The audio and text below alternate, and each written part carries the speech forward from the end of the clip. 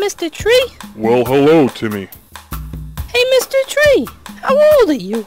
I don't know how old I am, Timmy. Why don't you count my rings and find out? Count your rings? How do I do that? Well, Timmy, first you have to get a chainsaw and chop me in half.